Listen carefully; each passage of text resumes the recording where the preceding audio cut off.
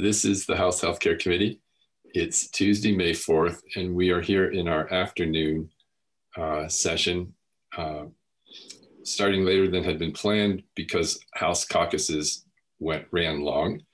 And so we are um, we are going to continue with our scheduled agenda this afternoon, but we'll come back. We're, we're skipping what we had scheduled at 1.15, which was review of a particular budget section. But if we have time, we'll come back to that at the end of the afternoon. But right now we are returning again to the issue of children's mental health, children and mental health, and in particular the uh, uh, pressures that are happening with children waiting for uh, far too long in emergency departments, waiting for inpatient services or other services as they're needed. And this morning we uh, spent between 9 and 10 o'clock hearing from the Commissioner of Mental Health, uh, along with some of her colleagues and colleagues from uh, DAIL, from uh, DCF, and from DIVA, each briefly. Uh, but this afternoon, we have uh, several other folks with us about the same issue. And first, we have Devin Green with us from the uh, Vermont Association of Hospitals and Health Systems. And uh, I must say that you're the, the part of what was referenced in the morning session, and Devin, I'm not sure if you had were able to tune into that session or not, because um, we haven't spoken between uh, because other things happening for both of us. But uh, reference was made to the collection of data that the hospital systems have begun doing, or uh, to give us to give everyone involved a sense of the state, the number of children waiting in emergency departments and other related information. So I'll just, I want to acknowledge that and say that there were some questions this morning as to whether the data that, that we heard from the Department of Mental Health corresponds with the data that the Hospital Association has. So I'm, I'm sure you will get to that, but I want to mention that up front and invite you, and I see your colleague Emma Harrigan is with you, um, to speak to that issue, but also to other related issues, because I know you've also provided a, a memorandum to our committee uh, previously. So with that, I'll turn it over to Devin, and then we will, uh, and we have Jack McCullough here as well from uh, the Mental Health Law Project at Vermont Legal Aid. We'll look forward to hearing from you, Jack, as well, and Sandy Endow if she is able to join us. So first, I'll turn this over to Devin Green. Great, thank you, Chair Lippert. Uh, my name is Devin Green. I'm with the Vermont Association of Hospitals and Health Systems. And Emma, I'll go ahead and let you introduce yourself. Hi, for the record, Emma Harrigan, also with the Vermont Association of Hospitals and Health Systems. And I'll go ahead and dive right into the data piece. I know there were some questions from this morning about the disparity of our data and um, DMH data and how we had 19 uh, children and adolescents waiting in emergency departments at one point while they had nine. And I would just say that our data is a point in time, so it's every Thursday at noon, we go to our emergency departments and we and all of our emergency departments and we say who is in your emergency department for mental health treatment, children, adults, how long have they been waiting? Is it a day? Is it zero to five days? Is it above six days? And so um, we are collecting the data for everyone, and we're doing this because there's been no great way to look at the emergency department data. Um, and that would encompass everyone. We've had this dialogue back and forth with DMH where they say, we are seeing so many people in the emergency departments, and then our emergency departments are saying, well, we are seeing this other amount of people in our emergency departments. And I think a lot of that stems from the fact that um, DMH is we are looking at everyone essentially who comes in. So whether it's commercial pay or voluntary or involuntary. Um, so that's the data that we're trying to capture here. Do you, do you have the most recent data that you have collected? So we don't have data for this week yet, but we will have a new collection point at Thursday at noon. But last week's data we saw, let me just pull it up real yeah, quick. I was thinking last week's data would be the most recent collected data. That's correct. So last week we saw six children waiting in emergency departments um, for inpatient placement as of Thursday at noon. Okay, and I'm just going to ask a few more questions about that. When you collect your data, and I, I've seen it, but I don't recall, do you uh, break it down by voluntary, involuntary, uh, or by payer type at all? No, we just do a point in time. So the only elements we collect are how many people um, by age group, so whether they're under the age of 18 or over, and then by the time that they were waiting, so less than 24 hours, uh, one day to six days, or seven days or more. So we do not break it out by legal status or payer, but we are very clear with emergency department directors that we want every person waiting regardless of their legal status or their insurance type. Right. And of those who were waiting last Thursday, you say there were six based on your review of all the hospital emergency rooms. Mm-hmm. Uh, can you give us any information as to how long they had been waiting? Sure. So for children, we had one child who was waiting less than one day, three children who had been waiting between one and six days, and two children who had been waiting seven or more days. Okay. And um, seven or more is pretty open-ended. So uh, I'm just wondering what that, if there's a, I'm just going to ask because I think we we really are trying to understand what we're what we're facing. Uh, because if seven or if two, I'm sorry, two were waiting more than seven or more days. Yes. So they would have been in the previous week's data. Yes. And can you remind us how many children were waiting based on your data the prior Thursday? I believe the prior Thursday was 19 children. And okay. our data brief, um, which I can send again so that it can be reflected in the record, um, we do collect anecdotal um, notes from emergency departments as they're willing to share. So some of that does give a little more detail. For example, one critical access hospital reported they had an adolescent who had been waiting four days before being discharged on Wednesday. Um, another critical access hospital reported an adolescent left after eight days waiting for an inpatient bed and ultimately was never admitted. Um, one acute care hospital reported that the adolescent who was currently waiting, so one of those two children, um, or I'm sorry, no, uh, one of one hospital reported that the adolescent currently waiting in their emergency department had also waited a total of 13 days over the course of two prior visits to the emergency department. Um, and then another hospital reported that um, they had no patients waiting as of the point in time count, but as of that Friday morning, they had another youth patient waiting who had arrived overnight. So sometimes we do get a little more detail, um, but we are trying to create a data collection process that can be collected quickly and efficiently to just give a sense of the numbers as quickly as possible for each week.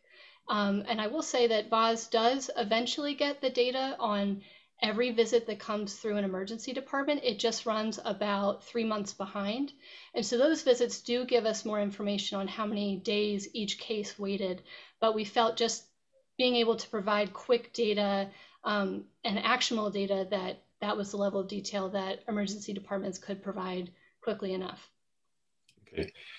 And uh, you are at this point collecting this uh, each Thursday as a point in time can you remind us how when that Thursday point in time measurement started? It started three weeks ago. Okay. Um, so we'll be able to, you will be able to, and we will be able to see that uh, tracked over time. Yes. Uh, not knowing if there's fluctuations up or down in the in between the points in time, but at least at the points in time. Um, let me have one more question. Uh, if you are so is, is there uh, any process underway uh, for VAHHS and the Department of Mental Health to compare your data from your point in time data with what they are collecting to see if there is any to see there may not be a discrepancy it could be that you know if you if you collect you collect on a thursday and if they report something from let's say a tuesday or a monday uh, their numbers will likely be different or could be different but it seems that it's important for us to not operate with a discrepancy within with numbers. And so I'm.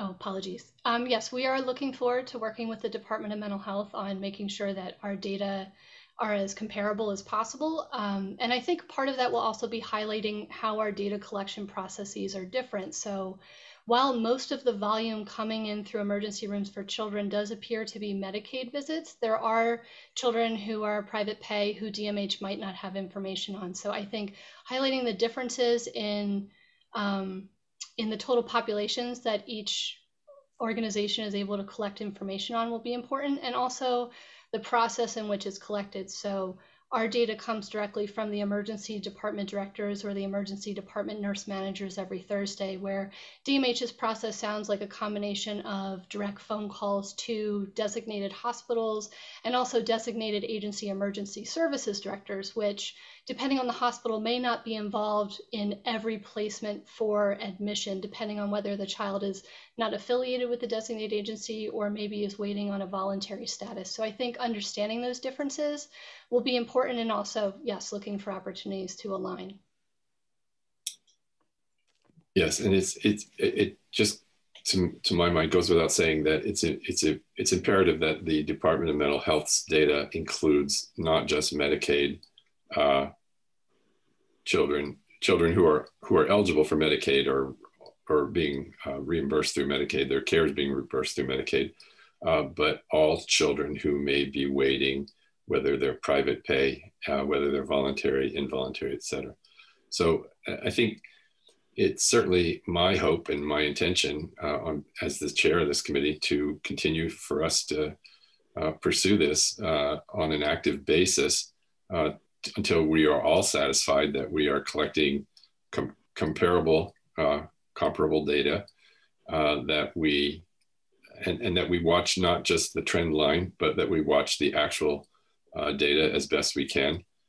And that we know, uh, as was not available today from the department, uh, that we know uh, not just the number of children waiting, but in some ways an age range of the children waiting, but also the number of the length of time the length and, and, and not just an average, but the, the, the range so that we're aware of where the outliers are and what, and, and when we say outliers, that really, what that means is a child and their family have been waiting, uh, a, you know, sometimes a, a, an extraordinary amount of time uh, in, a, in an emergency setting. Um, we 100% agree. And I think um, there are certainly opportunities through the process that we've established with DMH, but also I think a long-term goal of the electronic bed board and being able to collect this information so that we have a sense of the numbers, but also that it can be more actionable so that designated agencies or others who can help with finding placement for children have data in a as timely as possible and also at the level of detail they need to to help move children out of emergency departments as quickly as possible. Yes.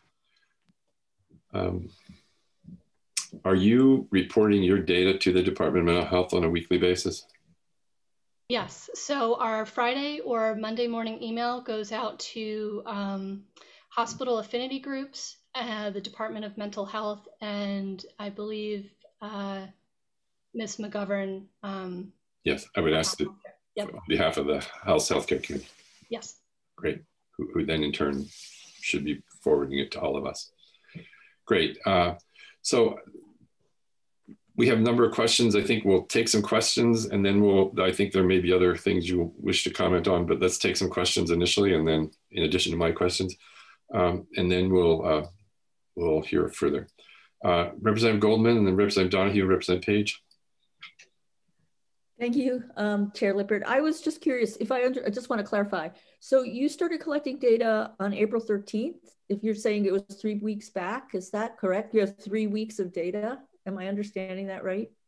Yes, that's correct. Okay. So on April 3rd, I mean, yeah, April 13th, can you tell us the data for that day? Um, maybe not. I'm, I'm just looking, we did talk about trends, so. Um, but we could provide, uh, we have data briefs for each one of those weeks, so we could provide data briefs to, to the committee. That's great, thank you. And I also, are you collecting data on adults too? Yes, we are. So I would be interested in seeing both, um, if that's possible. um, that would be helpful. So yes. thank you. Great. Uh, Representative donahue and Representative Peterson, did you have your hand up earlier? No. Okay. Representative Peterson, I mean, Representative Donahue and then Representative Page. That was a perfect segue from Representative Goldman. Um, we required a few years ago and just extended the, the um, end date for getting emergency department uh, volume and, and wait times. Um, it, it, the report says individuals. Um, I know you're very familiar with them because you produce a lot of the data for DMH for them. Does that in, does that include children and adults and they're not separated out, or is that solely providing adult information? So the data that we provide to the Department of Mental Health for Act 200 is adults and children. Um, I will point out that the the level of measurement is actually technically visits. Um, so there could be a difference between the number of visits that happen each year and the number of people that visit each year because people can have more than one visit. Um, but the point in time information, because it's it's a slice at a point in time, is individuals. So we probably really ought to be requesting that that information be divided into adults and children if we want to follow those trends. I think we can definitely work with the department to make sure that we have the right level of detail in the Act 200 report. Can you remind me of the frequency of those reports? Those are annual reports that cover, you know, a year year by year comparisons that we re receive. Um, Thank you. Representative Donahue, other questions right now? No. Okay, Representative Page? Uh, yes, I'm kind of interested in the big picture. Um, regarding, regarding the collection of data for children with mental health issues, um, how, how did you start collecting it? Were you asked to collect it by the Department of Health or, or the Agency of Human Services? Or, or did you just you know, based upon some of our committee uh, hearings, that you decided to simply do it on your own? So the uh, the data that we provide year, year over year um, in the Act 200 report was driven by the request of this committee or the request of the legislature. The the data that we provide um, the Thursday point in time really was generated from a need coming from our emergency department directors. And it just so happened to coincide with um, with the, the timing of these hearings and, and this discussion. So it was generated by our emergency department affinity group with really just expressing a desire to have a data point that showed the entire picture of people waiting um, for inpatient care, both kids and adults, regardless of legal status and regardless of insurance type. It also came from our pediatric surge group too. It was sort of a confluence of our ED director from our pediatric surge group talking with the other ED directors and um, making it happen. So if if we hadn't received um, you know letters from constituents, um, we probably would have heard about this issue um, through your organization. Is that correct? Yes, that's correct. Okay. And, and for other issues besides mental health related to, you know, pandemics or flu-like issues or whatever type of health issues that, that, that come about uh, throughout Vermont, um, are you the front line that sees data from our emergency rooms that would you know, throw up a red flag to various departments and agencies and say, hey, folks, there's something wrong here. We need to do something. Yeah. Or is there somebody else, or is there some other organization? Well, in terms of the emergency departments, yes. So we have uh, through COVID, it was weekly and biweekly meeting of all the emergency department directors across the state. Um, typically it's quarterly, but it's actually worked out really well to have one hour biweekly meetings of our emergency department directors via Zoom. And so we will continue to have those frequent check-ins with them. But yes, they bring those issues to us. Um, you know, we have brought the issue of wait times in emergency departments to the legislature in the past. We've you know worked with the legislature in the past on that issue. So this is definitely not a new issue to us. Um, it just does. It appears to be getting worse, and the children in waiting emergency departments, especially, really um, has a has a big impact on folks. I mean, no one wants to see adults in the emergency departments waiting for long periods of time either, but um, it creates quite a strain to see a child waiting for that long. Okay.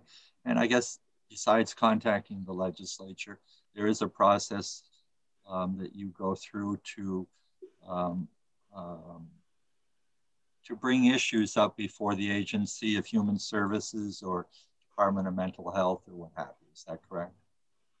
Yes, we do meet with the Department of Mental Health monthly um, and discuss issues.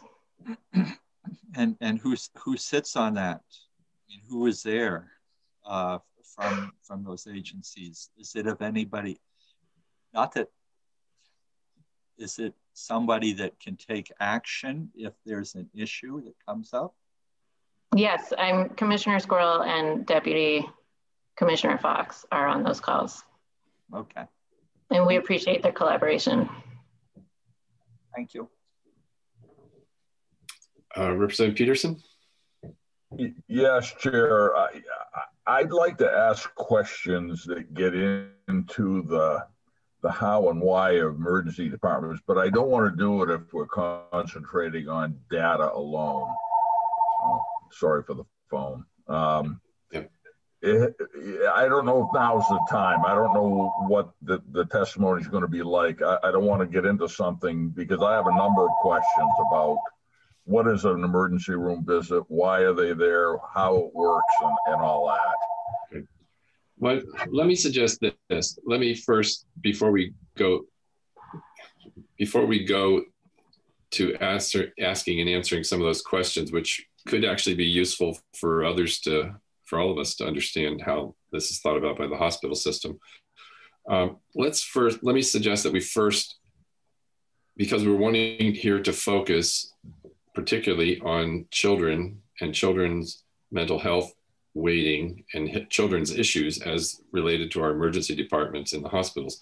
Let me first turn to Devin Green uh, to provide other information uh, including perhaps a uh, you know some some review of the memorandum that you sent, uh, because one of the things we were looking for was what kind of immediate steps uh, can be taken to address the situation with children, numbers of children, as many at one point apparently as 19 on any given day, and now perhaps as few as either three or six, depending on the numbers but this is a fluctuating number. Uh, what is what are some of the immediate steps that can be taken? And I'd, I'd like to give uh, VAHHS and Devin Green a chance to share that information with our committee. Thank you. Um, so when I approach this issue, I did approach it with the lens of this being sort of a public health emergency. And so I put this into the buckets of regulatory flexibility, resources, um, and, and data and statewide coordination. And I think right now for this body, um, some of the most actionable steps can be taken in the regulatory flexibility piece, um, realizing that providing resources and talking about building and new services uh, takes some amount of planning. Uh, so last week I mentioned the emergency certificate of need for emergency departments or a streamline a streamlined process for certificate of needs for uh, emergency departments. I, I did want to correct the record. I said that Northeastern Vermont Regional Hospital had been waiting for a long time with their certificate of need. They have not filed their certificate of need yet. They wanted to um, they wanted to file it as an emergency process and, and that was denied. So they are still in the process of getting to file it. So they have not filed it yet. What we're asking for is a process that would be streamlined while taking into account stakeholder input, um, just to take away those barriers to creating therapeutic spaces in emergency departments. Again, with the understanding that an emergency department is never going to be completely therapeutic. It is not a place that we want people to stay long term, but how can we get them to be more therapeutic? Um, and that often takes building and that building creates a certificate of need process, which takes time. So to the point that we can minimize that time a little bit, I think that would help with some hospitals. Um, can I ask a question about that just to help understand it? Isn't there a threshold beyond which, yeah. I mean, a certificate of need, there are things that can be done absent a certificate of need. Yes, but a lot of times I believe. So there's a, there's a there's a financial threshold, I believe, that has yeah. to be hit before you have to file for a certificate of need. Or am I wrong on that? Like three million or? Yeah, yeah, it's about three million, I believe, yeah. and a lot of Seems like a lot can be done absent $3 million without needing an emergency certificate of need exception. Uh, I think it's hard when you talk about emergency departments and when you're talking about creating spaces for people who are in mental health crisis because once we get into that we we you may remember you may recall this from um, Rutland Regional Medical Center um, needing to overhaul their emergency department a couple years ago because regulatory authorities came in and said that there were ligature risks there. So there's, it ends up adding up quickly um, when you have to take into account mental health needs and the ligature risks and the special uh, equipment that you need and the special type of building that you need to address all of the issues there. So um, so, you know, two rooms ends up uh, costing a fair amount of money for most hospitals and does trigger that certificate of need process. Okay. Well, I, I, don't. I don't expect us to sort that out right here. But I was my first reaction, frankly, was that uh, not knowing, not remembering the threshold, but uh, I, I, would still think there's something we could explore there uh, without a certificate of need. But, uh, but let, let me. I interrupted you. Representative Donahue you had a question or comment? You're on mute. Uh, yeah, just just very briefly to say, I think that there are some uh, low cost uh, emergency changes and revisions that can be made that, you know, way before you need to do a major right. or pending uh, a more significant change. And it would be really good to see those done, acted upon, you know, several years ago. But now would be good. That would be yeah, good. no, and I think that's right. I mean, we are looking internally at what our hospitals can do. We are having our emergency department directors meet with the designated hospitals to talk about the transfer process and medical clearance. Um, you know, we are looking at things that we can do. What I'm bringing. I'm, I'm talking about environment, environment. No, no. Here in the interim, not just. I mean, movement. I agree. Important, but yeah. Yeah, I think the environment of care is the same piece. I what I brought here today are things, actionable items for for this group. Um, I'm happy to get into what we are looking to do also, but my understanding was this group was looking for actionable items that you could do, which um, is what I brought here.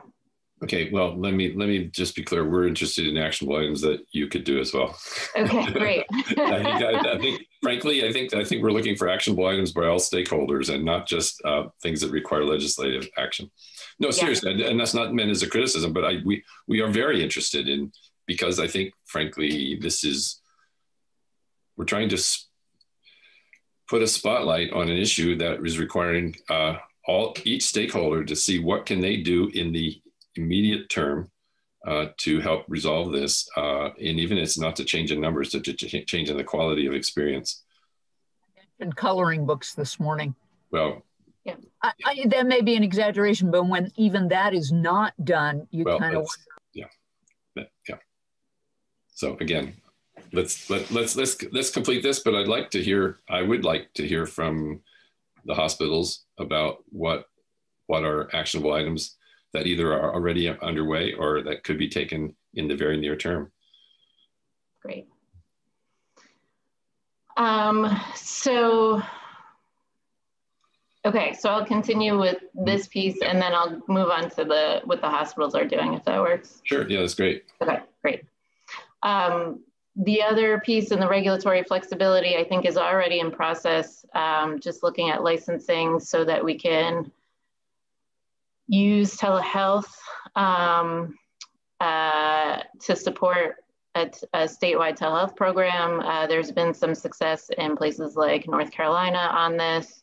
Um, and as you'll see later, we have a real workforce issue um, that is preventing us from providing care. And so that is sort of happening right now in terms of you extending the regulatory flexibilities, which we appreciate, and that will give us the time to look at this issue in H104, um, which you also passed. So thank you for that. Um, and then also transportation. We do hear a lot about transportation um, needs, and, and if we are going to look into alternatives to emergency departments, then we need to be able to have transportation to those alternatives as well. So any regulatory barriers to that, which, you know, maybe at the federal level, um, I know a lot of ambulances get paid only if they bring someone to an emergency department, and that is changing at the federal level. But any state barriers to that would be needed as uh, needed to be knocked down as well. Um, we do think that there are resources needed at every level of care. We appreciate uh, DMH's willing or DVHA's willingness to talk to us about a different payment model for emergency departments that would take into account the need for more resources because people are staying longer and we look forward to working with them on that.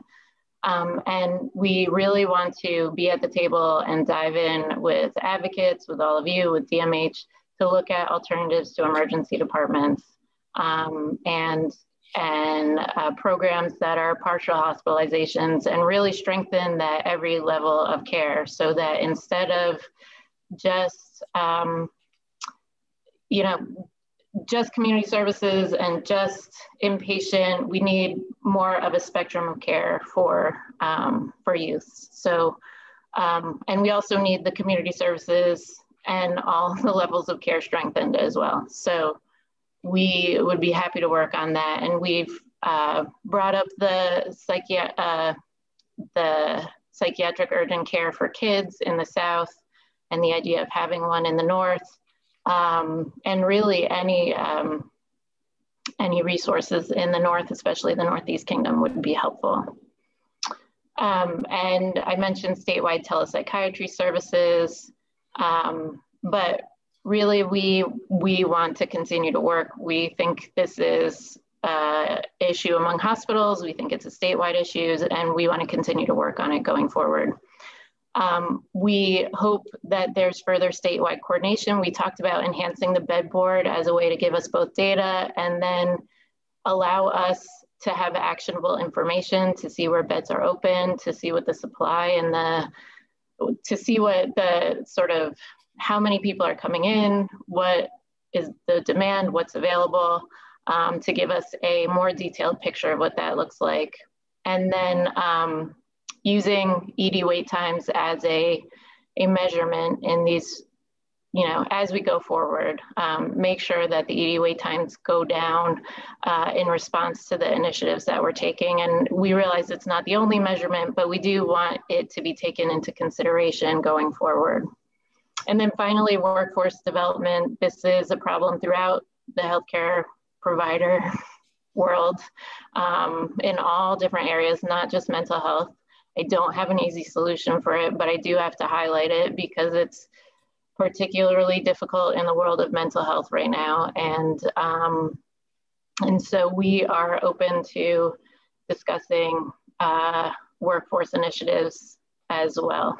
Um, and so those are the items that we are hoping to work with statewide and at the legislature and with advocates. Um, we internally, uh, as, as hospitals, um, are doing a couple of different initiatives. I think, um, you know, I mentioned that we are going to look at our medical clearance protocol in terms of what needs to be done in the emergency department to clear that person and say that they're physically able to go to an inpatient unit because places like the retreat don't have the capacity to deal with a heart attack or um, other health complications that might also be there while that person is at the hospital. And so they need to get cleared first. Um, and sometimes that process can take a long time. And so we need to minimize that process. We need to do the, you know, the coloring books and the crayons for kids. We need to do the little things. Um, we need to provide comfort for children who are waiting in the emergency departments. I think our our uh, healthcare providers try to do that to the best of their abilities, but as you heard last week, um, the emergency department is a very difficult place and, and not necessarily a place for children to be for long lengths of time. Um, Emma, I know you have uh, some experts that we're bringing in to talk to our hospitals in this area. I don't know if you could go into more detail on that. Sure, and I believe we included some basic details in the brief that we provided, but um, nationally there are um, models called EmPATH units uh, that see rates as high as 70 to 80% diversion, so that, um, and that these places in some states do accept um, involuntary patients as well as voluntary ones. So they really are a place for anybody who's experiencing experiencing an acute psychiatric emergency can go um, and that they do intensive services and, and warm handoff to community resources so that they can divert um, the majority of their visits back into the community. So we're looking at that as a potential opportunity.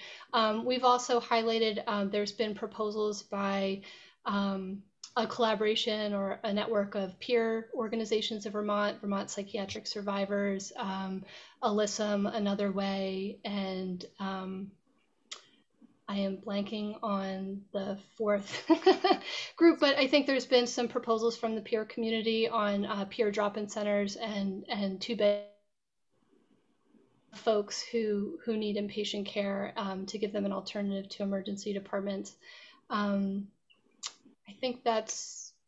I think you might have frozen when you. I think you were saying two bed crisis respite or something to that degree. Is that what is that what we didn't hear? Yes, yeah, so I think there's some, and then psychiatric urgent care for kids, the model that's in Bennington. So I think those there's a lot of um, interesting ideas that are available in Vermont and outside of Vermont that um, look at making um, a continuum of care, so that we have something that works in between, or is or is a combination of both inpatient and outpatient services, um, so that we can we can look for opportunities for diversion to prevent children from arriving in an emergency room and ultimately needing inpatient care. So I think um, being able to serve children and families better, but also hopefully reduce the need for hospitalization. Great, thank you. So let's take some, thank you, uh, and uh, Devin, let's take some questions. Uh, Representative Donahue, Goldman, and Peterson. I'm just wondering if the hospitals are um, receptive now to considering um, having uh, peer support folks come into the emergency rooms to, you know, be with somebody who's waiting and provide support. Has there been any change in that? Yeah, I think there has been change in that. I can't speak for every hospital. I think it varies hospital to hospital, but I've seen a lot of progress forward with that. And I know we endorsed uh, the certification of peer support, which um, I think will also help hospitals uh, accept peer support coming in and helping out, providing a little bit of that certification and, and framework around it will help also. So yeah, I think there is movement in that direction.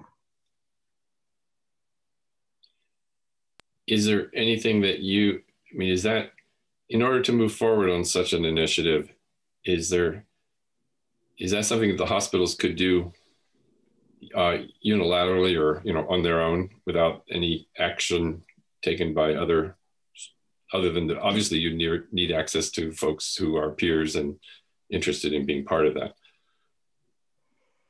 yeah, I think so. Um, I don't think there's any, I'm going to let Anne speak to it because she's more of the expert, but I don't see how we would need a legis, you know, we would need legislative action to take advantage of peer services. I, the, I, the only, the only, um, and I, I can't, I'm trying to think of like the current visitation guidance. Um, if folks are vaccinated, then they are fine to come in. And I know we said peer services for substance use disorder. I think, I'm not sure if mental health was in there. Um, no, it's excluded from that. And peer, mm. peer agencies have been trying for more than 10 years to offer voluntary peer support and have, in most hospitals, um, not been accepted. Um, substance use disorder folks are admitted as peer support people. I will say, I will say that the emergency department directors have been more motivated than I've ever seen to work with peer support and their community providers and you know try to figure out solutions to this and we'll continue to do that.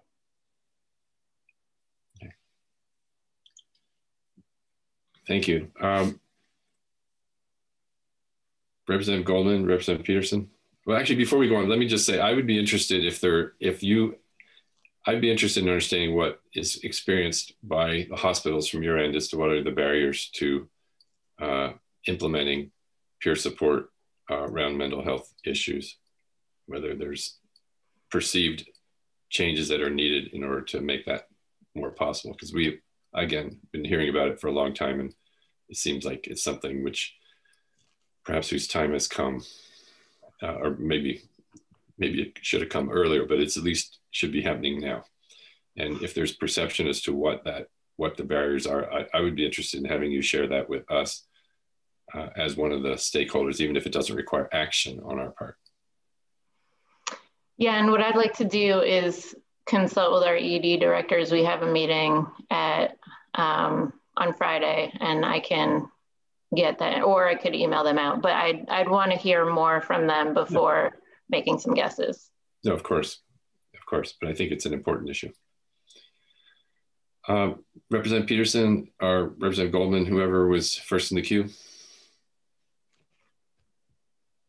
I don't know, but I'll go. Mine's quick. Um, Emma, I think I heard you say something about an issue brief that you provided to us, and I was wondering about that because um, I'm not sure I've seen it, or if I did, I don't remember it. And you muted. Uh, I I just I just forwarded them to everyone, so you have them in your email. Oh, thank the you. ones that we have received thus far. Wait, you're talking. I, I think we're talking past each other. Uh, there, there's there's the emergency point in time briefs, but I think I think what Emma, I believe what you were referring to is I have a printed copy is is the memorandum, uh, which actually doesn't have a date, I don't think, but it's uh, around testimony for children and adolescents in mental health crisis and emergency departments from VAHHS. Is that, is that what you're referring to, Emma? And I think I think all members of the committee should have that document. It's posted also on our website. But if you don't, know the date of that. Well, I don't know. There's not a date on it, but it's uh, it was distributed, I think, in the last week. Okay. You look under documents on the website, and you look under uh, VAHHS. Okay uh, you know, where the report came from. I'm, I'm sure Colleen can help locate it. Um, thank you. Uh, Representative Peterson? Yes, uh, thank you. Um, I have a, just a fundamental question, a number of them really, but I'll limit it to a, a couple, three here, about what happens in an emergency room and children with, with mental health issues.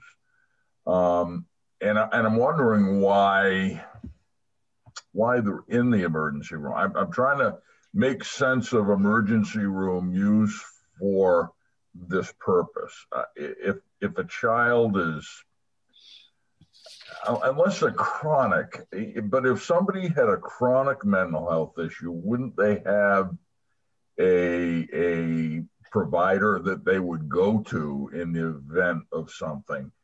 If it's not that, if if this is a first time event, a child is, I don't know, really has an episode of, of a problem, say a 10 year old, and a parent brings them to the emergency room, is the holdup in not having a care provider, a, a psychiatrist, psychologist work with that child? Is that where the holdup is? The manpower needed to see the child, or is it somewhere else? So, and I'll I'll take a first attempt at this and I'll look to Devin, but I would say we have a healthcare system that by and large says if you're experiencing an emergency, call 911. And when 911 is called, usually the next stop if it is an emergency room. And so we also have a, a, a narrative um, beyond just healthcare, but just, you know, a narrative that we all have that says when we're experiencing an emergency and we can't we can't contact our provider because it's after hours or we don't have a provider in this area, we go to the emergency room. Um, other conditions have urgent care. So, you know, I make an assessment as an individual whether I need to stop at my urgent care or whether I need to go to my emergency room. We don't always have that level for mental health. So I would say sometimes um, it's, you know, families who maybe are experiencing a crisis for the very first time and don't know how to access the system. So they they lean on what is most familiar, which is what we use for almost everything else in healthcare. And other times, and I think the testimony we heard from families two weeks ago, um, we have children who have a really acute need. Um, and they may not have the resources in the community, or those resources may not be available at off hours to support families. And so families are told if they need a place where someone can stay that is safe um, and staffed 24 7, that's an emergency department. So I think we have a cultural narrative that tells us emergency departments are where we take emergencies. Um, but there are really creative ideas that I think we've presented today that other states have looked at and things that we could use in Vermont to create alternatives other than emergency rooms. And um, I also think the advent of 988, the the suicide hotline or the uh, 911 equivalent for mental health crisis could help us create different networks or different pathways for referral when people are experiencing a mental health crisis. So I think that's my perspective. I, I'd be curious, and I think we could take it back to our emergency department directors from a little more of a clinical perspective, but I think it's cultural as well as resource related. Okay, so I, I see what you're saying. So one way to get a, to help that would be to have have a, have another avenue to send that family to that child to uh, a, a call. Oh, it's a, it's a mental health issue. You would go here to the puck like they have down in Bennington. Um, that type of thing that would clear out the, the, the or keep the uh, ED from being over over uh, filled with folks. And I do um, want to emphasize that I think Puck is really promising because it's an extra resource for the community, but it's also very promising because it it takes the typical referral networks for children and it turns them upside down and it says to the whole Bennington community if you have a child who's experiencing a mental health crisis or an issue in schools, do not call law enforcement, do not send them to the emergency department, call us first. So that partnership and that collaboration and that that effort to change the narrative and change the referral pattern, I think is is as important as creating the extra resource for families and children. Yes, I, I, was very impressed with the testimony we heard on that. Now, the other question I have is do, do your emergency hospital emergency rooms have an on-call mental health clinician, person, doctor?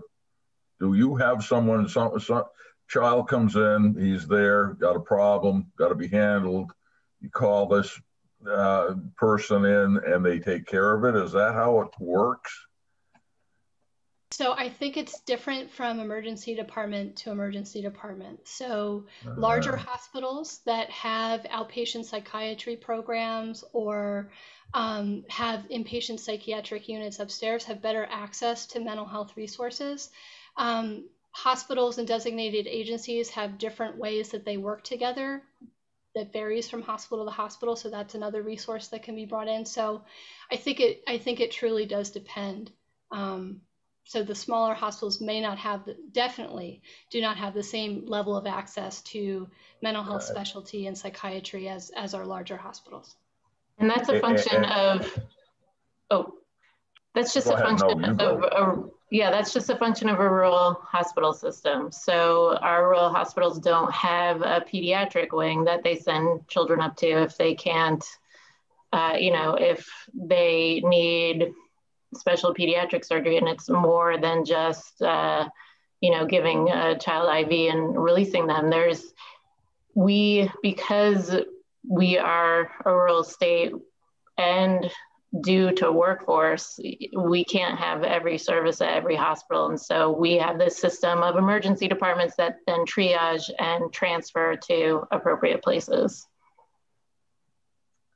Okay, are, are we finding that there are more children waiting at small hospitals and large for for uh, mental health issues, or no? No. I think okay. um, we only have three weeks worth of data, so we don't have anything to indicate a trend. But I would say, by and large, most children, um, most visits that we are seeing waiting are at our larger hospitals, um, and smaller that's also, counts. That's of, also where our populations are. Right. now that being said, we do see, um, and again, more weeks of data will help us tell this story a little bit better. But when we see children and adults waiting in smaller hospitals, um, it, it creates more. It's more likely that a smaller hospital will have a higher percentage of their overall beds occupied by folks waiting for mental health care than larger hospitals. So even though the numbers can be smaller at smaller EDs, it's a greater proportion of their overall beds. So it can it can create a strain. I mean, we have some emergency departments that are um, five beds, others that are 10, and our larger hospitals, it's anywhere from 25 to 40. So there's a lot of variation in, in just the resources overall that, that emergency departments have. Okay. Thank you. So I'm going to suggest that uh, we hear from Jack McCullough uh, next, and hopefully Devin and Emma will be able to stay with us. Um, and we'll turn to Jack to hear some of your perspective from your years of work uh, with the mental health system here in Vermont. Okay, uh, I'll leave it to you to introduce yourself, Jack. Yes, Thank you. Good afternoon, Mr. Chair and members of the committee. I'm Jack McCullough. I'm an attorney at Vermont Legal Aid, and for about the last 26 years or so, I've been the director of our mental health law project. And the function of the mental health law project is to defend the legal rights of patients in the involuntary mental health system. So, by contract, we are automatically appointed by the court to represent anyone in any involuntary mental health proceeding in the entire state. And uh, so we represent people in every hospital in Vermont in which people are receiving involuntary psychiatric uh, care. We represent uh, people in every county who are getting uh, care in community settings. We represent uh, adults and we represent children. And um, so we have a lot of experience with the kinds of issues we've been talking about. Um, I've observed over many years in this committee that the mental health system seems to be determined, or maybe I should see, say, fated to instill, instill in Vermonters with psychiatric illnesses, the uh, perception that the mental health system is not here to help them, but to do things to them. And this is another example of that uh, observation. It seemed to get really bad at the beginning of this year. You know, in the last several years, we've certainly seen people being stuck in emergency departments this year, especially for children, it seemed to get really bad. With children's had children being held for days, um, sometimes even weeks in emergency departments. And when I say children, we do definitely find ourselves representing children under 10 years of age, sometimes significantly under 10 years of age. But a, a lot of the children that we represent are, are adolescents. And, you know, you tend to, you know, we all know teenagers and we know uh, how we interact with teenagers. And we sometimes find even the teenagers we're representing who are being held in voluntarily to be crying, fearful, really desperate because of the uh, situation they're in. They're being held. They don't know what's going to happen. And uh, it it sort of seems like, you know, it's hard to know, but uh, when um, when we have children in the hospital and being held involuntarily, they don't necessarily seem to have the same orientation that adults have to the idea that I have rights, I have the ability to speak up for my rights, and I have the ability to have somebody uh, help me stand up for my rights. And so they often tend to just sort of accept whatever's being done to them. And it really, uh, if anything, it really makes them even more desperate in the in the where they find themselves.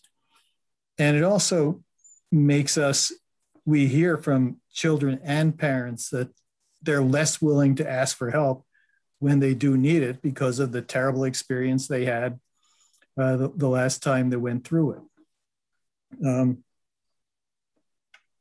not every hospital is the same, but you go there, and it's been a long time since I've had the chance to visit a, a client in a hospital, but you go there into the emergency departments and you see a person in a tiny windowless room, not free to move around or interact with the, with other people or to go outside. There's a staff person sitting on the outside the room at a computer terminal, watching the person, not necessarily interacting with them in any way. And it really is uh, far from what any of us would think of as a humane or compassionate way to uh, treat someone in a psychiatric crisis. I know it's hard in these times to uh, to arrange something like this, but I would really urge the committee to get out and visit one or two of these emergency departments to really witness uh, what conditions are like there. Um, and so to give you an overview of the legal uh, structures we work in, the law does allow people, either adults or minors, to be taken into custody if the person is found to be mentally ill and a danger to him or herself or others. And when I say found to be, I mean observed to be by a mental health clinician, not necessarily found by court at this point. The purpose of the involuntary custody, and you have probably heard this referred to as the 72 hour hold process.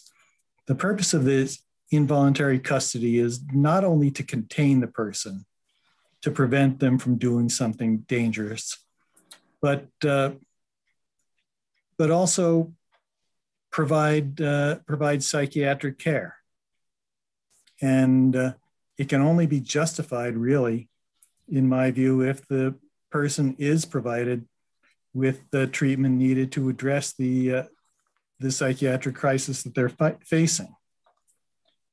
A child who's locked in this tiny windowless room with no real uh, therapeutic care is not receiving meaningful psychiatric care. And so we question how the state can, can justify involuntarily detaining that person. And in our cases, what we've been doing, you know, you've, I'm sure you've heard the term psychiatric boarding. Well, hospitals aren't there to board, provide room and board for people, they're there to provide care for people. And in cases like this, where someone is simply locked up in an emergency department, we've uh, we've begun filing uh, motions to dismiss the uh, application for involuntary treatment, arguing to the court that the, the state can only justify keeping the person if they're going to provide treatment for them. And keeping them locked up in an emergency department is not uh, treatment.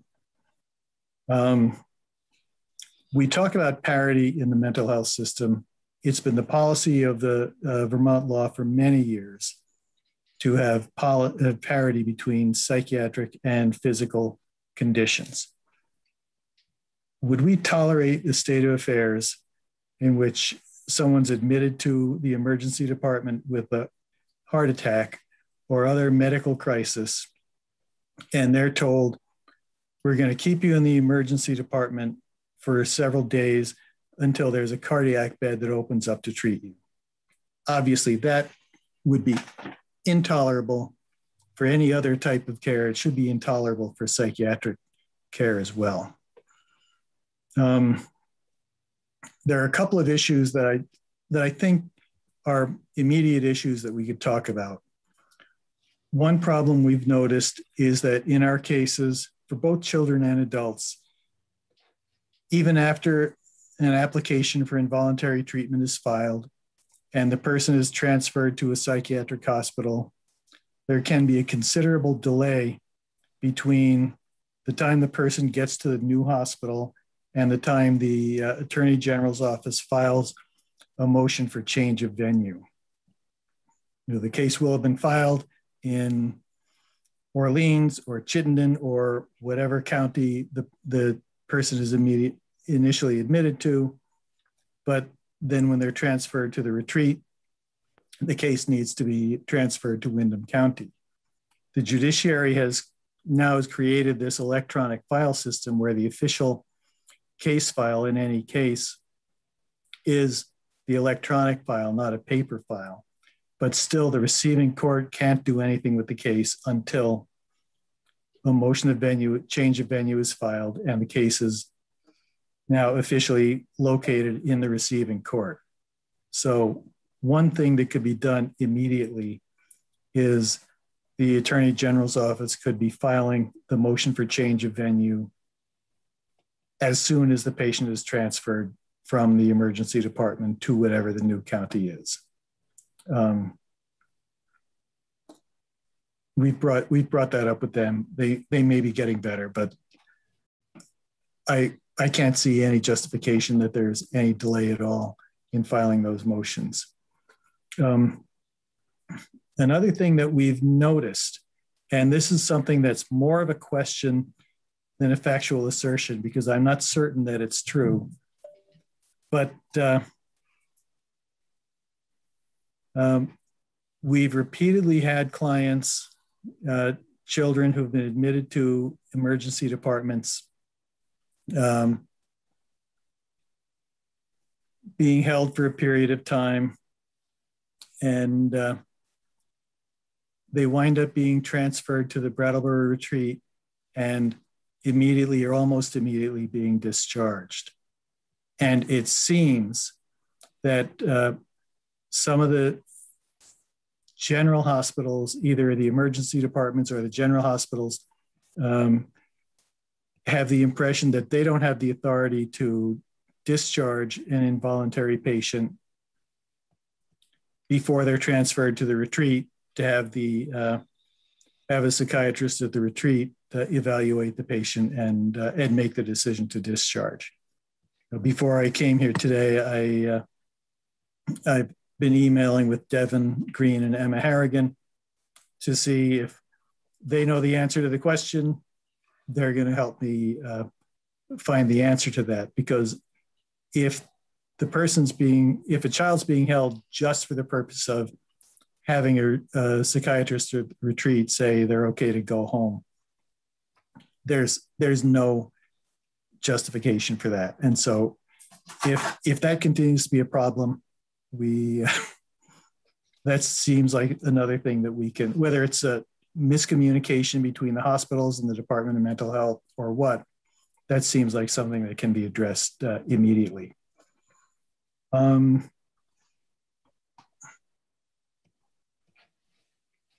and i think that is pretty much it for me. I think what we found is that the situation is intolerable. It doesn't seem to be getting better, although I should say after uh, after this morning's hearings, I uh, hearing I discussed the testimony I heard with the uh, with my staff, and it does seem that the the department's figure of only three people three children in emergency departments as of today. That does appear to be correct based on the uh, the number of cases that we have open. So, so that's good. Um, but I think that's that's it for me. I'd be happy to answer any questions. So, Jack, I'm going to jump in here. Uh, thank you. Just to be clear, you deal only with involuntary uh, patients. Is that correct? Exactly. We get. Uh, right. So I think people need to understand that that that yeah. you, you you work with a particular uh, sub a group of patients uh, who are seeking or someone seeking on their behalf mental health treatment. They may not be seeking it themselves. Uh, right. And and then that's that's the group that you deal with. Can just knowing that, uh, can you? Because I think one of the questions that's been raised before is, what are the numbers? And I don't know who's tracking this. Uh, maybe the department actually is because they deal with. They've been tracking the involuntary uh, patients uh, not and not always the voluntary patients. And what are the numbers of children? And I'll say you can define it uh, by under eight, under 18 or uh, whatever. Uh, what are the num? What is the proportionality or numbers of children who are in a part of the involuntary mental health uh, treatment system that you that you deal with? Do, do, do, you, have, do, you, do you have any numbers that can shed light on that? We do. I'd, I'd like to confirm it before uh, giving you a fixed number, but I think the number that I got from my secretary the other day was uh, 42 in 2021.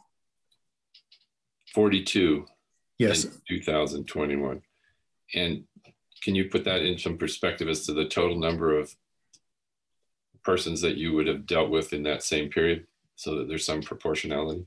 It's a small percentage. We uh, we have we tend to get in the neighborhood of 1500 or probably more cases per year of all of our cases. So 42, if you if you expect uh, expand that over the year, it might be 120 or so. So it's it's a small percentage of the cases that we do, and um, so that's 42 in, to this point in 2021. Is that what you're saying? Yes. So that's not a that's not an annual number. Correct. An annual number could would be uh, would be more than that, three or four times that. I'm not sure exactly what the cutoff date was. I will get you that exact number. Yeah, I think that would be useful for, because I think it, it becomes, and and this those are I mean proportionally that's a small number, but that's not a small number really, uh, when you think about it in Vermont that it's a lot of kids who are in crisis yeah yeah that's a lot of a lot of children who are uh, in a situation that is not just a crisis but is also a crisis where there's considered danger to themselves or others and there's a mental illness and i can another thing i can say is that it's the cases we have in which we're representing children tend to be much less likely to go to hearing than cases where we're representing adults typically that once they get into get hospitalized, they work with the uh, with the treatment team at the hospital. They work on developing a placement, and not many of them wind up going through the, the whole commitment process. They eventually get discharged without being committed, which is probably a good thing all the way around for everyone. Oh, I agree. Yeah. yeah. So you don't have this stigma that I mean, there's stigma, but there's not the same stigma, perhaps. Right. Okay. Uh, questions for Jack McCullough? Um, Representative Black. Hi, thank you. Um, I'm not even really sure this is a question. Um, and, and anyone can anyone can address it or not address it, but all day long today, as we've been going through this, I and Mr. McCullough, you sort of reminded me when you said something that you thought might anecdotally anecdotally be happening. I, I just keep thinking, how did we go from 19 kids to three kids in two weeks? Did we are we doing things that we should have been doing all along? Or are we making space for some at the expense of others. And I'm not sure, or is it just a coincidence that this has been, you know, on the radar for the last two weeks and it's gotten better? Yeah. Being cynical. And like I said, it's not really a question, but an observation. it's an observation. May I dive in a little bit to that please, thinking? Please, welcome you to. Devin Green, Vermont Association of Hospitals and Health Systems. I would just say um, I wouldn't hang my hat on it yet. I think you see that the data fluctuates from what DMH showed you. Um, we only have three data points, so we can't say what is happening right now or whether there was an intervention that helped. I think it's just a matter of, and again, it matters in our point in time, right? Which is why we try to include the anecdotes that say someone who is waiting here for eight days just left 30 minutes ago um, to create a larger picture. But um, I don't think we can say what made that change at this point. And Emma, I don't know if you have anything to add. Thank you, Devin. I think you covered it. Um, we only have three data points, so we can't really say for sure what the trend is, but we can say when we look at emergency department visits over time at on a yearly basis versus week by week, we have seen increases with each year in the number of visits and the number of days that that those patients are waiting. And that that number does include kids and adults, so I don't have a good sense of how the the children's picture has specifically changed over time. Um, and I will also say the kids number that we've provided has gone from six to 19 to six again, but the adult number has been much more static um, at, I don't want to say off the top of my head, but in the teens to the 20s with each of the past three weeks that we've reported. So we are hoping that more weeks of data will help us understand more of a trend. And when you put this on top of the data that we've provided going a little bit further back, um, this is at the top of, of a very long increase of overall visits and days to emergency departments in Vermont.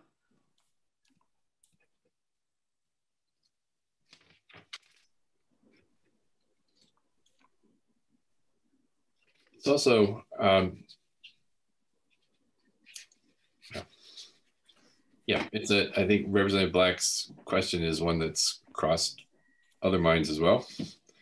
Uh, and I, I want to just put out there, uh, you know, in some ways, I regret that I didn't make make it more of a an issue earlier in the this legislative session. But at one point, I raised with some of my colleagues here that I wanted to see us try to establish a goal of what I mean to, to, to challenge all of us as stakeholders to say, what would it take for there to be no child waiting in any emergency department for mental health services, period. And I still think that's the goal that we should establish. I think that that's the measure that we should have. And that when we deviate from that, we need to understand why we're not why we're not accomplishing that.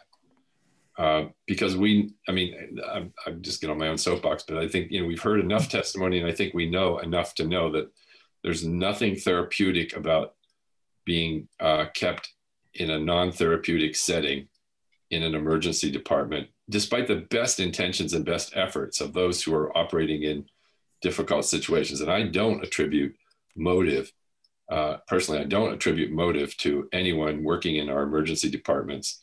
Uh, but I think we need to collectively and I think that's part of our role as the legislature, quite honestly. I don't think our, our role is not always just to pass statutes or to, uh, uh, there, there are times when the role of, of our work is to shine a light on an issue and to use that to convene or mobilize stakeholders other than ourselves and in addition to ourselves around an issue. And I think that's how I see this situation at this point in time.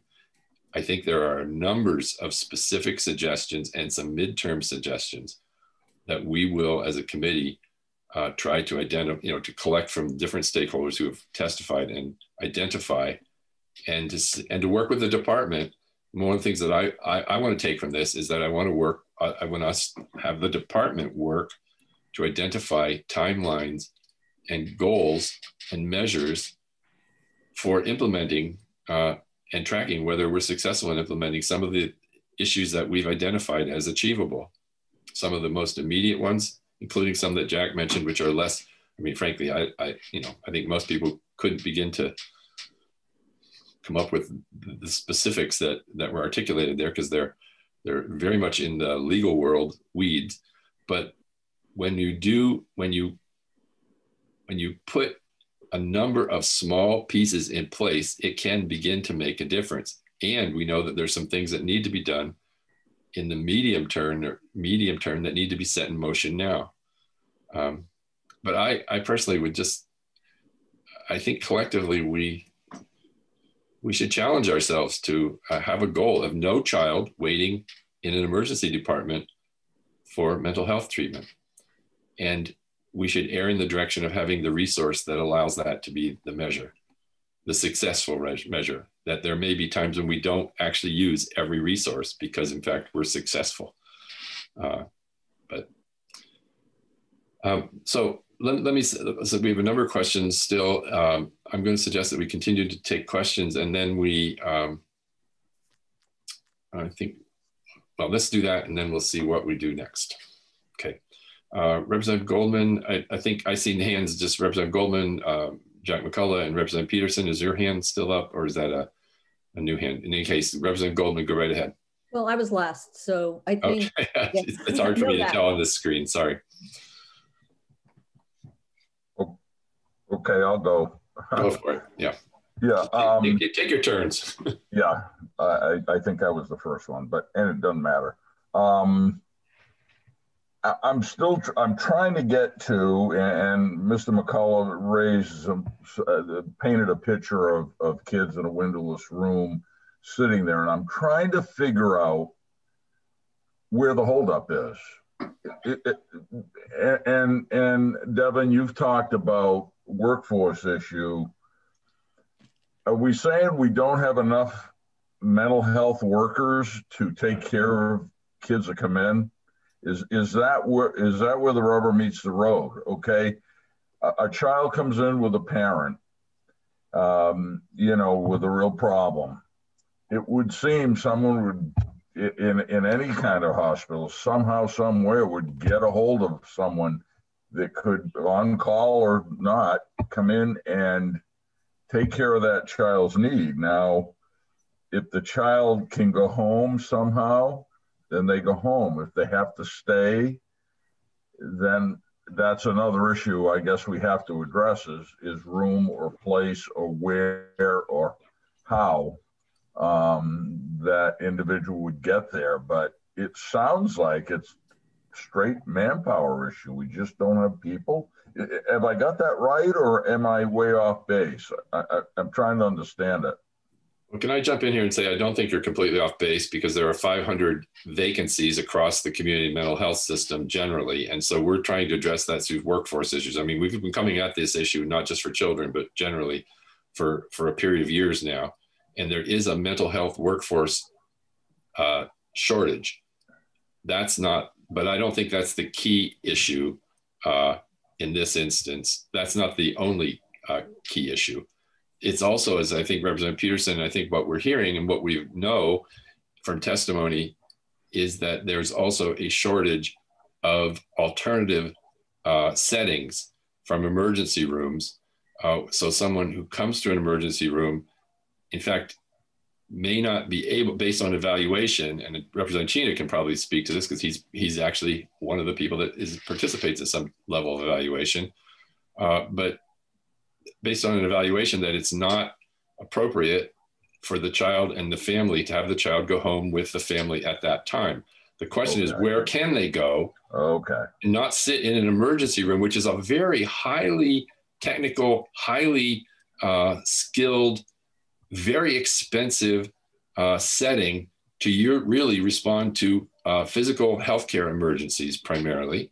Uh, but if you don't have, if we don't have a an opening in an in a a respite bed or in an alternative setting where there are staff already there working with children and families, then there's no place to quote transfer them to. So they sit in the emergency room until the bed opens up in this alternative setting. And okay. that's part of what we've been pushing for as a committee. And the department is committing to as well to try to create more settings in the community for children and families. Uh, but not just at the front end, like the PUCK, the PUCK is a, is a, is a prior to getting, to keep people from going to the emergency room, but we also need settings for children to go to once they've been in the emergency room or once or once they've been at PUCK and they're identified they need more than can be provided there they need someplace other than an emergency room so okay. i think we we have uh, and i think we heard the commissioner say there are resources that can be put to those. Uh, we we're fortunate there are uh, some substantial federal resources that can be used and that that's in, that is underway and in the process. Um, so it's it's it's a combination. It's it's a system, and just as this commissioner said, it is a systemic issue, but it requires movement in different parts of the system uh, simultaneously, and we're we're trying to move that system, and that and the department is trying to move that system. Uh, but it's not strictly just like there's literally not manpower in the emergency room. Although there, okay. is a, there is a there's a shortage of psychiatrists there's a short, so we need to you have telepsychiatry. There's a shortage of staffing in the community system generally because we have chronically underfunded the system. Uh, so anyway, it goes. So it's it's all these different pieces that fit together.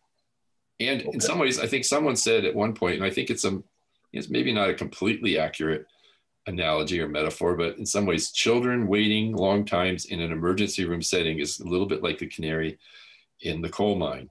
It's like it's a symptom. It says there's something not working in this whole system. When children end up waiting in non therapeutic settings in an emergency department for failure to be able to get to an appropriate setting. Uh, and it's not just a matter of changing the emergency room settings to have them be more amenable, et cetera. That that's that's part of it, but that's that's not that's a symptom rather than a solution long-term solution. That, that's that's that's my. Well, let me just say that that is. Thank you for that because that helps a novice like myself in this environment. I'm trying to learn, understand where the problem is. Because I, I, I haven't heard that expressed quite that way, and and that uh, registered with me. So uh, thank you. And I, I would just say I appreciate your questions as a novice to this because, in fact, it actually asks some of the questions that people would be asking who are not immersed in this system. So, I, Representative Peterson, I actually appreciate and value your asking some of the questions which uh, need to be asked. And I want to follow up with one other thing, and then I want to hear it from the other members who have questions. I think it would be useful at some point in time, given everything else we've got to do, but you know, we'll it, and it may not happen immediately, but somewhere along the way, I think it would be very illuminating to have our committee hear from folks who are actually working in emergency room settings to talk about, to answer the question you have. I mean, I have a picture in my head, but it may not be current or most complete. To hear, like, what is it that's bringing children to the emergency room settings and what are you seeing? What are you doing? What are you not able to do? to actually hear from the frontline people, I think that would be illuminating for us, whether it leads to a specific intervention or not. I think the information would be useful from uh, your perspective, Representative Peterson. I think it would be actually useful to all of us.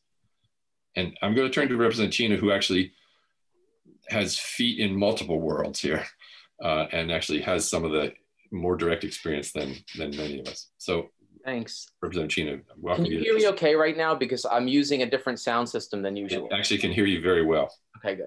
Um, so yeah, I am a, you know, I am a part-time crisis clinician at the Howard Centers, and I've been one since 2004. So that's 17 years. Um, so I've seen like a lot of changes, and I've seen a lot of things stay the same. Um, and I will say that uh, um, what the chair just said about there's nowhere safe for someone to go is often the barrier. Like there's not the bed's not open yet. that they need.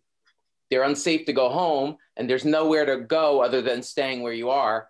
But it's not the, it's not a therapeutic environment, and people languish. Um, and I think part of the problem is I, am going to say something, and then I do have actually have questions, but sure. um, I but I it seems like people are sharing thoughts too, so I will. Mm-hmm. Um, Fine. And you literally just said we should hear from frontline workers in the emergency room in one. So, um, so, um, and I say this with all due respect, but like part of the problem is the infrastructure, and part of the problem is is like the culture, and like pe- the, like people get inconsistent treatment. Like like p- what a person's going to get from me may not be the same thing they're going to get from another crisis worker. And sometimes people get like I sit in the back room and hear how people are talked about by providers, and it's it's concerning to me. Um, and in, in that position, I, I'll advocate for clients and I'll speak up. And then sometimes I just have to be quiet and do my work because I'm not going to change someone else's mind um, for the judgment they made about a person and how they're going to treat them. Um, so I think one thing we could do is look at how to address burnout in staff and look at having more consistent training and, and like standards between people and part of that's probably within a program part of that's it's not like i'm when i say providers like there's so many different providers in the emergency room working together like there's there's mental health crisis workers like myself there's like the uh, peer substance abuse support people there's nurses there's doctors there's residents there's um, the sitters and depending what sitter you get, you're going to get a different experience. Like it's it's just inconsistent treatment. Um, and so a few questions I have is, um, have we ever considered? I'm, I'm just going to say them and then be quiet and listen and continue digest because I'm trying to listen and and reflect too in this moment. Um, have we ever considered we meaning like our society or whatever? Have we ever considered having UVM create an inpatient unit for adolescents because I keep hearing they can go to Plattsburgh, but that doesn't really work well for people. And and when there's like nine kids in the emergency room at UVM, it just doesn't make sense that we can't move some of them into the hospital if they really need that level of care. The second thing is, could there be some kind of mobile therapy program that begins therapy in the emergency room or in some adjacent unit, kind of like a like a like a like more intensive than just giving them puzzles and books and like and like juices and putting a video on. Like having like like similar to like how on the inpatient unit there's the activity staff you know people who could be like a little more um, interactive. And then the last question is have we ever considered like sending them home with a sitter? You know like like a person like like a person goes to the home and stays at the family's home and stays awake and sits with that child in their own home and helps the family kind of like a visiting nurse or visiting social worker and sits with the family at home until the bed opens. You know because i'm just trying to be creative about like how do we address this? And that's a that's a question that i thought of while you were just talking. Thank you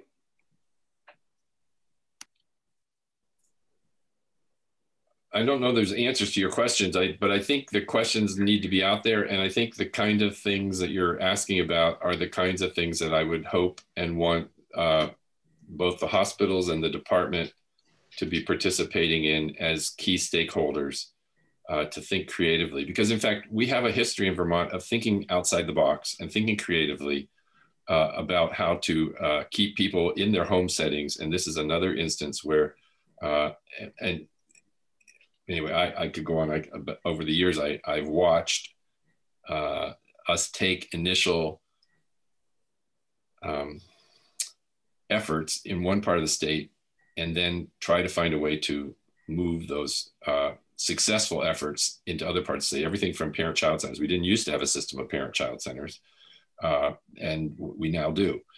Uh, we, we, I mean, intensive family-based services were an innovative model at one point in time, and now they're in, intensive family-based services is something that we think of as an essential piece of intervention with certain certain levels of, of need. Uh, and I think some of the things you've talked about, uh, I think there's things we can learn. And I, I would, I don't, we're not here to do that today, but I think we're here to identify who can best be the crucible for thinking about new uh, to continue to think about because give credit where credit is due. The department has been thinking about and working on numbers of these issues. This is not like they, they have not been part of this, but I think we we need to add to that and add our sense of external urgency around this. So with that, um, so Brian, I'm not trying to. I don't know if others want to respond to your particular suggestions or questions. Yeah, thanks. I I don't expect answers right now there's sort of things that I've been like as I'm listening to the discussion that have that are that it came up and I just thought I'll put it out there and if people can't answer it today at least it's out there you know and and, and people we can maybe be thinking a little more creatively. Um, not that we haven't because I, I do want to say that in the, the 17 years I've worked there's all kinds of improvements um, and all kinds of things that have gotten better but there, there also are some things that just aren't changing and it's not okay. So I'm going to turn to Representative uh, uh, Donahue and then Representative Goldman or whatever order. Uh, just just a quick comment because uh, if it were adult mental health, I would have remembered to say this a whole lot earlier. But I'm hearing about meetings, VAHHS, DMH, emergency directors, and all that, and I strongly encourage involving peer voices at every table. And in this case, that means parents. There is a we the, the uh, head of the Family Federation couldn't make it today to testify here, but I know Digger talked with her. She was talking about, um, you know, opportunities and ideas, and that voice needs to be at the table from from day one, not with here's our plan. What do you think of it? Um, and there is a state standing committee on children's mental health. Um, Great. Thank you. And I, am I'm, I'm aware that uh, Sandy and I was not able to join us today, but I'm, uh, Colleen, you're listening here as well. I'm wondering if reaching out to her and seeing if she's available to join us uh, when we have some further discussion tomorrow afternoon, whether that's a possibility. Okay, uh, Representative Goldman, and then, um, then let me stop and think about how we proceed from here. I want to thank you, Chair Lippert, because you said something really important that got my attention, which was you wanted to set a goal of no child in the ER for mental health issue. I think that's a really important goal, but I think it needs a time frame. So, you know, this is a big system, but I would want somehow to say by one year from today or by somehow we put the pressure on to say, and I don't know if we do this as a committee, and of course, you know, I don't know how this whole system works about this mental health. You just said a mental health um, group that already exists. How do we fix it in a time frame that we can live with? Because it's not going to be next week, and obviously, it's been going on for years. I like to see goals that have a time frame so that we can know whether we're reaching that goal. So I want to thank you for that. I'd like to put a time frame on it. I'd like to say, you know, tomorrow. Can't do that. I'd like to say by the end of the summer. Can we do that? Uh, hopefully, COVID will be over. The school supports will be back in place. Um, can we really look and say in six months, because schools will be back in session and kids will get the support, that there won't be kids in the ER?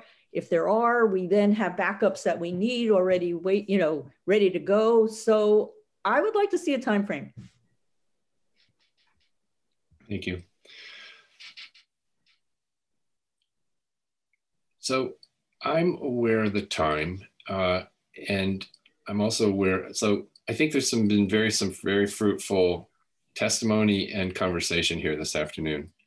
I think a next step from my point of view picks up on what uh, not just what Representative Goldman said and what I suggested, but from I think there's I think one of the roles in addition to shining a light, bringing this issue uh, to the forefront again, uh, and not saying oh it's now six so we can back off it's not 19 anymore.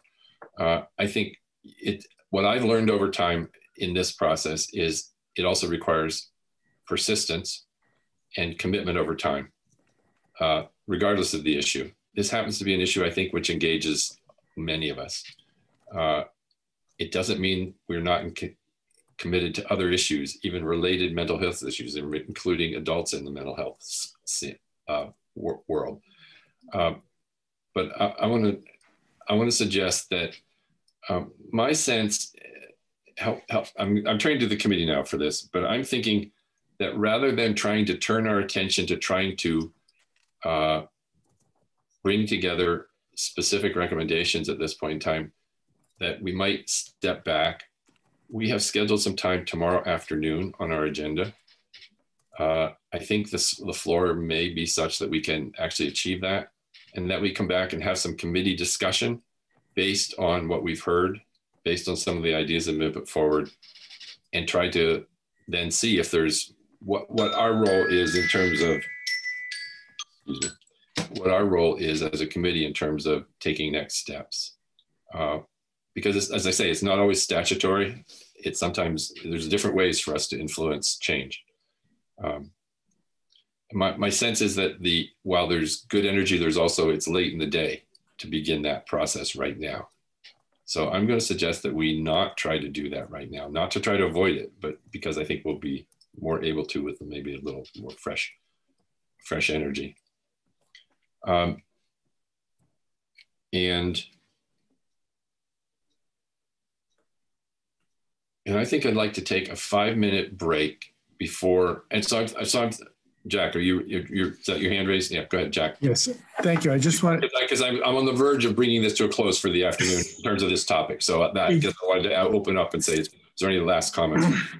Great, thank you. I, I know the focus of today has been on, and this week has been on children in emergency departments. I just want to say, Mr. Chairman, I agree with exactly with what you said that there should be, we should be in a situation where there are no children waiting for psychiatric care in emergency departments, but we should also bring about an outcome in which there are no adults waiting in emergency departments yeah. for psychiatric care. I'm sure you, I know you agree with that. I completely agree. But I also, but I also think strategically we need to put attention in a particular place. And my, my experience also is if you move part of the system forward, you may you may very well move the entire system forward simultaneously, but you'll be more effective. Yep. I think we will be more effective if we put continue to focus attention and energy on this. I will add one other thing because I, I am struggling as I'm listening. Uh, some of us, I think Representative Donahue and myself, and maybe others, I'm apologies for forgetting. Uh, we were approached by Spectrum Youth and Family Services uh, some many months ago around uh, them because they work with youth, but they work with transitional youth who are sometimes older than 18 but younger than 21. I don't know what the official de denotation is. And I'm wondering, I find myself wondering in terms of the data and understanding who we're telling, talk, talking about, that there's particularly unique, I think there may be unique needs of transitional youth, or they might be transitional young adults, uh, however you think about it. And I'm wondering whether we're capturing really the magnitude of what we're talking about in terms of what is uh, happening in our emergency departments uh, when we just say youth and I'm, I'm Emma, my, in terms of your numbers, it's under 18 or 18 and under. And, um, but that means someone who's 19 or 18 years and a, and, uh, or 19 in a day or something like that. You could, there are many young people who are, particularly if they're homeless, if they have no housing, if they have no family supports, uh, they are really not in the adult world in the same way as someone who's like even 25 or, or, or 30 and has a whole different world around them or may. I mean, not everybody does. But I guess I'm wanting to, to also acknowledge that there's a transitional youth segment of the population that I think maybe doesn't get captured as we talk about youth as 18 and under. Right, they're they're all counted as adults, and that includes um, treatment settings as well. So inpatient yeah, hospitalization. So it's, it's, probably a broader they, issue. They all at 18, it's all the adult system, and numbers. Yeah. Okay, so uh, Representative Page, I see your hand. Uh, welcome you to I'll in. just be quick, but I just want to um, remind everyone that so long ago this morning, we did have a presentation by um, Commissioner Squirrell, and she did have um, some immediate solutions, yeah. midterm and long term.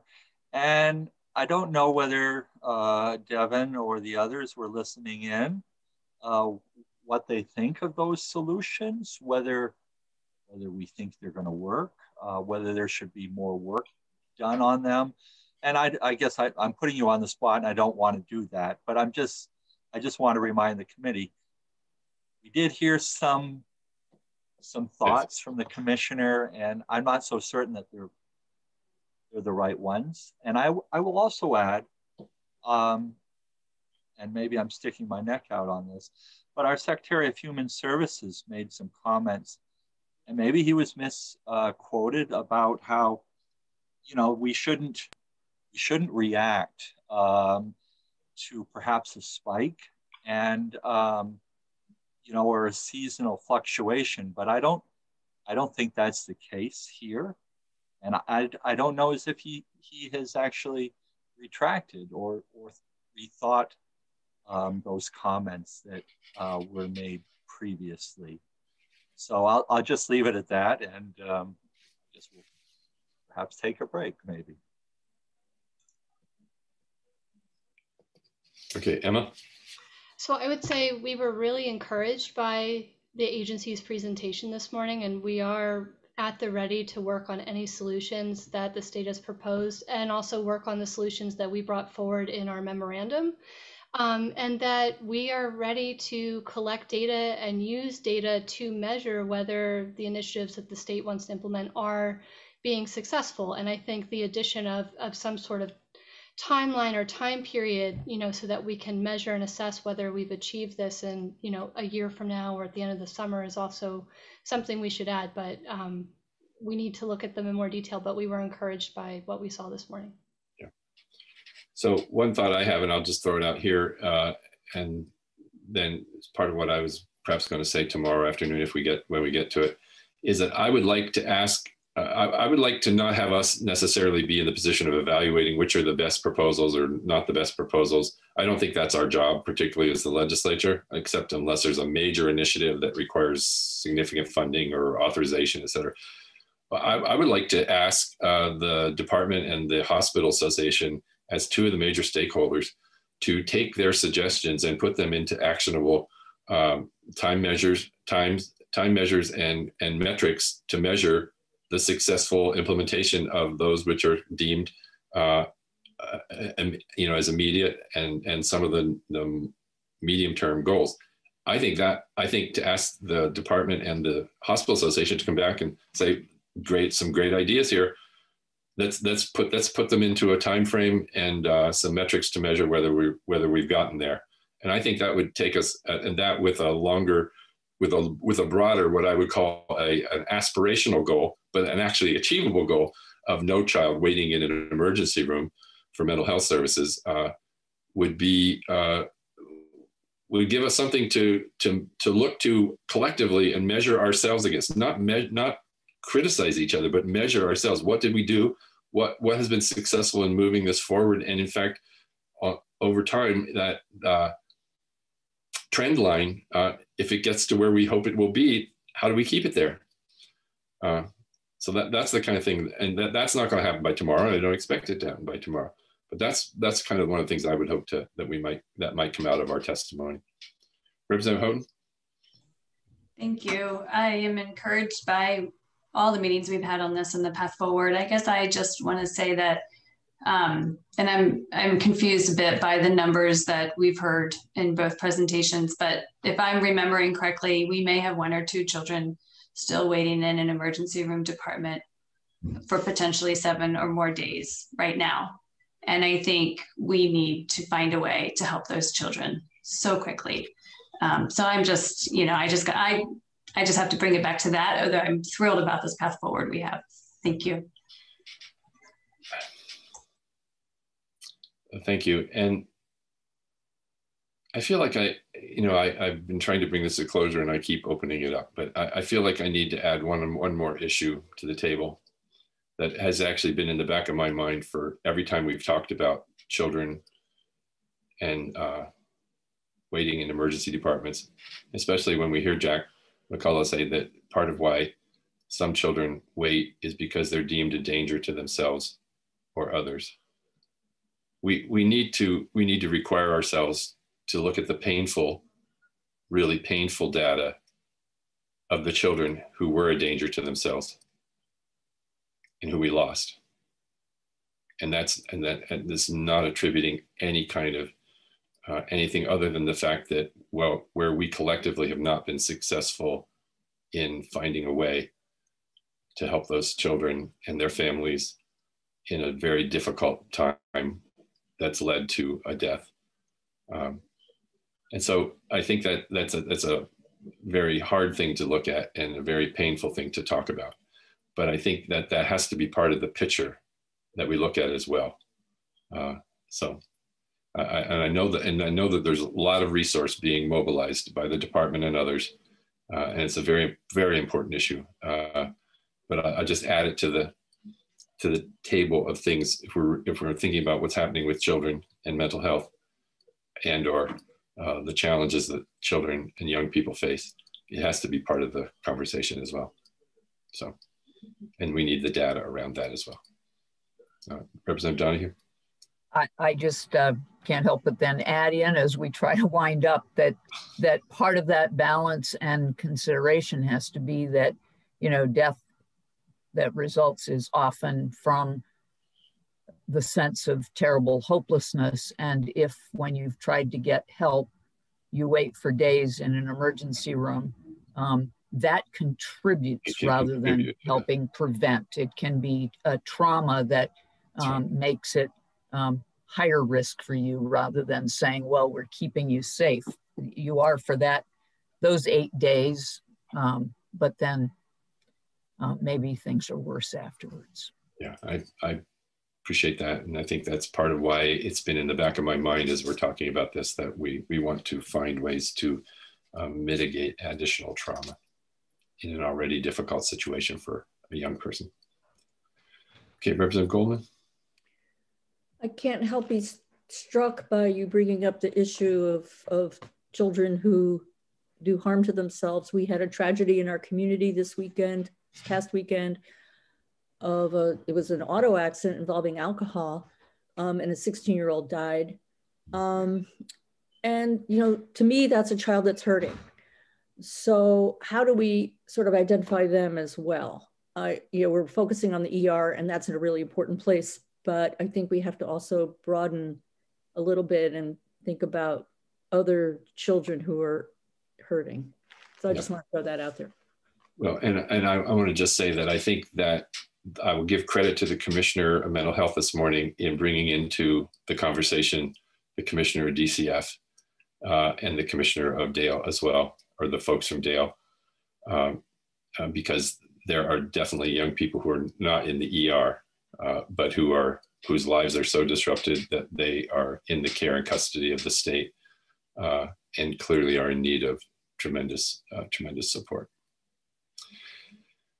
Okay, I think I'm not going to take a break right now. I think I'm going to suggest that we bring this to closure, close for the afternoon. We will find a way to reschedule um, what uh, we were going to do earlier. I'm not going to try to do it now, uh, and we'll we'll we'll work our way through this. And I think I think I want to just say that I think this is an important piece of work this committee right now, and uh, it's not just measured by what bill we pass or what bill we didn't pass or what's going forth back between us and the Senate right now. I think this is an important piece of our work collectively as a as a healthcare committee.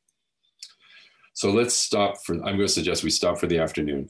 We're back here tomorrow morning uh, as a committee uh, when in fact, interestingly enough, we're going to, uh, we're going to be looking at several several sections of the budget, and then we're going to be hearing from a number of advocates uh, late in the morning as well around some of the work that uh, is still ongoing. And we will then in the afternoon, uh, given um, hoping the floor will allow it, we'll come back to a some further discussion around uh, this issue tomorrow afternoon. But in the meantime, we'll reflect on what we've heard today uh, from each other and as well as from our witnesses.